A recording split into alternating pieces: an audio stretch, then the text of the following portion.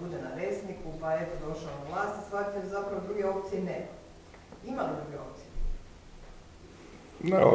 Kole- kolega je sad govorio o otpadu, evo pa će. E, Gdje god e, bila lokacija za takvo što, uvijek će biti nekoga e, ko će smatrati da to nije primjereno, da tamo nije mjesto. Jer to je naprosto onaj princip da, ali ne u mom dvorištu.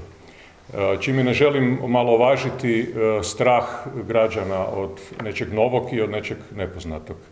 Ključna stvar u svemu je e, da bi građani to prihvatili mora imati vlast koja je uvjerljiva i koja pruža transparentno podatke o tome što će se tamo zaista dogoditi. Kao što smo vidjeli čak niti prema gradskim zastupnicima, što je zapravo i prema građanima, jer mi zastupamo građane tamo, ne sami sebe. Nisu transparentni jer su dali sažetak studije. Navodno, tako se priča ono po hodnicima u skupštini, e, e, navodno da ta studija ima nekih 900 stranica. Mi smo dobili 51. Sažetak kao pomoć za razumijevanje je dobrodošao, ali sažetak kao nešto na temelju čega odlučujete o nečemu što je što ima 900 stranica je neprihvatljivo. Zamislite da dođete na fakultetu na diplomski ispit i donesete mentoru i povjerenstvu sažetak svog diplomskog rada i kažete evo, to je moj sažetak, šta bi vam rekli? Kolega, dođete drugi put.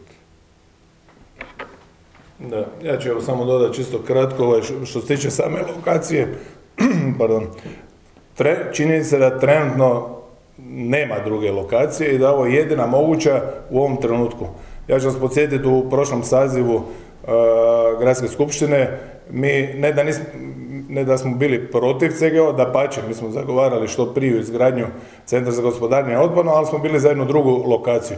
Ali kad se već odredila ova lokacija i kad se na deseci milijuna kuna ili, ili da- današnjih eura uložili u tu lokaciju, u razne razne dokumentacije i tako dalje i na kraju krajeva prema generalnom urbanističkom planu, to je jedna od rijetkih lokacija gdje se uopće može postaviti. Mislim da je to sad jedino trenutno e, logična e, lokacija i naravno ako bi se odustalo od te, te lokacije to vam znači minimalno tri godine zastoja u realizaciji i na kraju krajeva posljedično zatvaranju Jakuševca.